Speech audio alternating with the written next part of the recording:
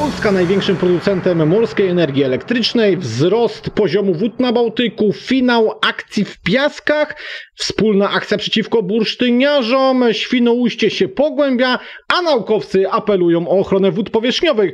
Tyle tego dzisiaj, że ho ho, zaczynamy.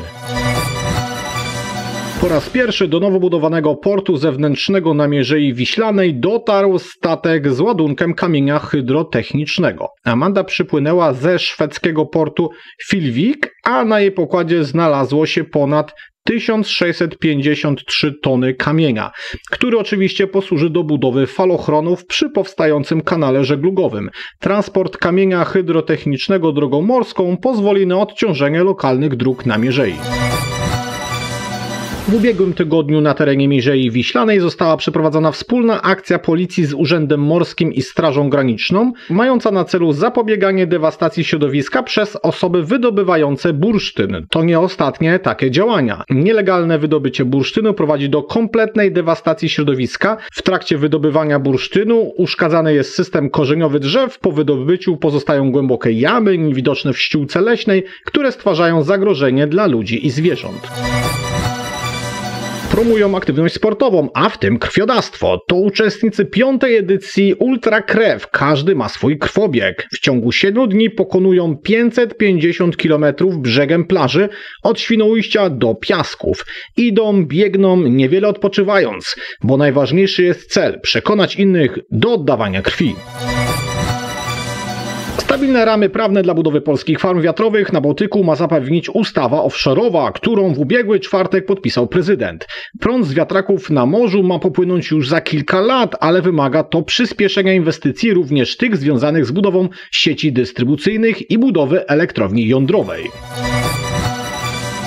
Postęp prac na 26 stycznia to m.in. prace czerpalne na Ostrowie Grabowskim oraz kontynuacja robót palowych na wyspie Radolin. Wykonawca finalizuje również oczyszczanie dna z obiektów feromagnetycznych potencjalnie niebezpiecznych. Zakończono również prace związane z monitoringiem bobrów i wydr.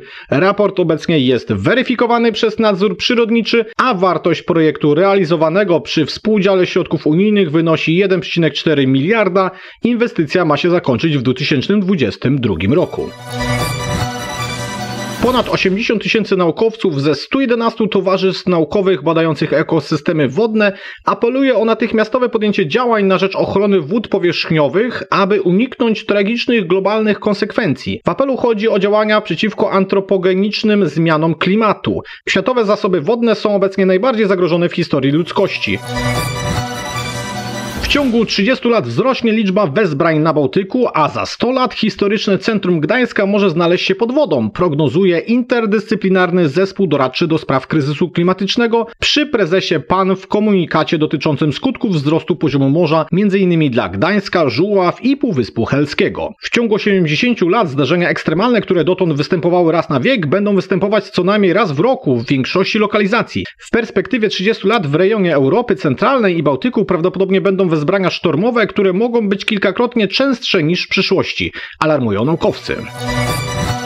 No właśnie, ja się zastanawiałem zawsze, w zasadzie zawsze, no nie wiem, już od 20 lat co najmniej, nad tym, co będzie, jeśli ten poziom wody się faktycznie podniesie, no to co z tym naszym przepięknym Półwyspem Helskim? No bo tak jak wiecie, ja pochodzę z Władysławowa, często bywałem na Półwyspie Helskim, no jeżeli tam się woda podniesie o metr, to w zasadzie Półwyspu nie ma, no do tego dochodzą jeszcze sztormy, różne cuda na kiju, ba, nawet jak pół metra się podniesie, to już w zasadzie jest problem z tym naszym Półwyspem. Ja rozumiem, że można zrobić opaskę betonową, coś takiego jak na wysokości, nie wiem, Rozewia, natomiast ten Półwysep wtedy straci, no ten urok, nie? Nie będzie dzikich plaż, prostu będziemy mieli beton, beton i no nie wiem co, taką jakąś taką nitkę piachu gdzieś tam wchodzącą w, ten, w to nasze przepiękne Morze Bałtyckie. Także tutaj na pewno no, jest jakiś problem. E, myślę, że trzeba tutaj trzymać rękę na pulsie. Oczywiście będziemy Was też cały czas informować, co na tej Mierzei Wiślanej, co tam się dzieje. Szkoda mi tych bursztyniarzy, natomiast e, no, podejrzewam, że na ta akcja oczywiście jest wycelowana w tych, co tam płuczą ten bursztyn gdzieś tam z odmentów e, tych czeluści. E, natomiast jeszcze bardzo mocno serdecznie chciałbym Was zaprosić na debatę jutrzejszą, e, ponieważ na debacie jutrzejszej będzie Krzysztof Plewka, e, będzie Olek Cichosz, czyli będziemy mieli nautiki, będziemy mieli admirały, a będziemy rozmawiać o no, braku środków do życia, można byłoby tak powiedzieć, ponieważ oni, tak jak wiecie, od zeszłego roku stoją w tych portach, nie mogą pływać na dorsze, no bo mają zakaz dorszowy, nie?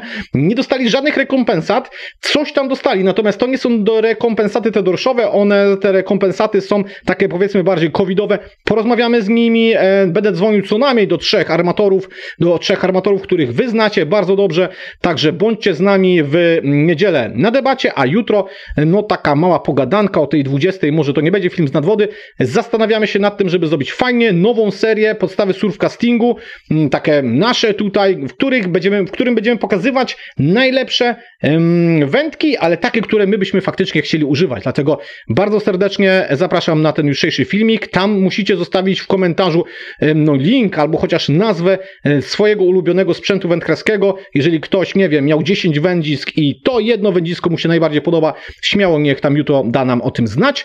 Na podstawie tego my będziemy wyposażać nasze stanowisko wędkarskie właśnie w ten najlepszy sprzęt. Natomiast dzisiaj pod y, tym filmem napiszcie w komentarzu, no nie ma dzisiaj prognozy pogody. Napiszcie, czy ta prognoza pogody była no, istotnym elementem em, tych naszych morskich faktów, czy raczej i tak e, na nią nie zwracaliście uwagę. O, napiszcie koniecznie nam w komentarzu, no bo dzisiaj się nie wyrobiliśmy z tą prognozą pogody, jest z nią troszeczkę roboty, żeby nie było. Natomiast e, napiszcie nam, czy ona jest Wam do szczęścia potrzebna. Trzymajcie się, na razie, cześć!